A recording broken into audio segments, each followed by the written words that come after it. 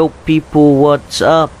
This is how to get Dwarven Battle Axe. As you can see, these are the locations that it is near. It is on this little island right round here. Um, pretty easy to get to be fair. Right, so you start at this campfire. There, the dead body and sleep man, there's tomatoes in there. Um, and on this barrel, right here, there's a letter. Worth reading, worth collecting, don't weigh anything, so you might as well take it.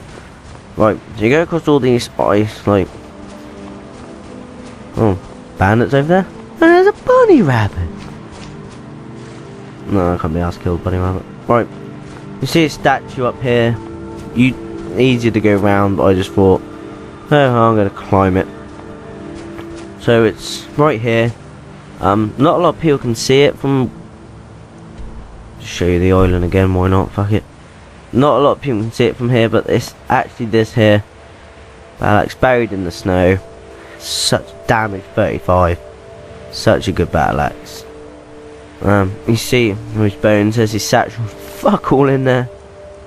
But no well worth taking. And this is a good read. Might as well read that way here. One-handed increased to 26 well mine is.